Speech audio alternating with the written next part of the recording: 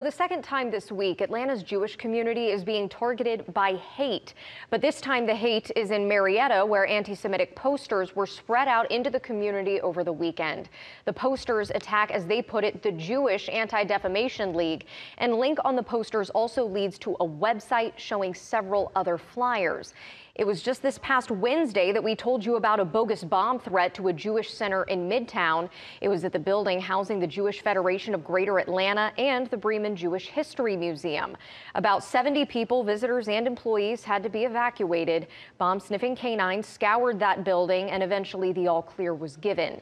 We spoke with Eytan Davidson with the Anti-Defamation League who says it's troubling but sadly not surprising based on recent data according to our report on white supremacist propaganda, these activities increased 400% from 2021 to 2022.